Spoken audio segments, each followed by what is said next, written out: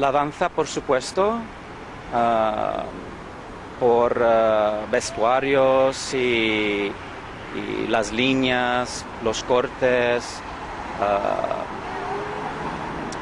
las por- por- proporciones de las, del cuerpo. Por otro lado, el flamenco, que crecí mucho con el flamenco y el, arte y la pasión, los colores, los, ah, las telas que usan me influye mucho también.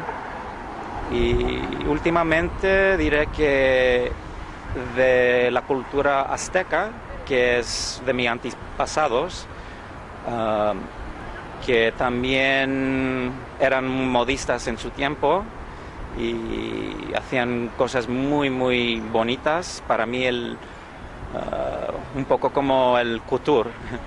Por supuesto, muy importante también el flamenco. He crecido con el flamenco ah, y con un hermano y una hermana que son bailadores y la pasión, los colores, el arte, ah, la expresión me influye mucho. Mm. Bueno, eh, trabajo con otras, otros tejidos también, pero la piel para mí me permite ser un poco más creativo, artístico, porque se puede trabajar en- de muchas maneras.